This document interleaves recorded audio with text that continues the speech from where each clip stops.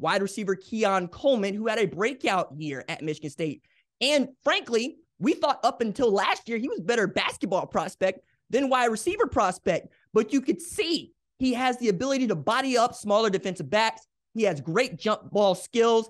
And if you are throwing him straight into football without any, well, lean toward basketball, what kind of a wide receiver prospect could he be? That's very intriguing. Him going into the portal doesn't necessarily mean good things for Michigan State because he's joined in the portal by quarterback Payton Thorne, a two year starter for Michigan State, and one of the guys that Mel Tucker was building around going into this 2023 season.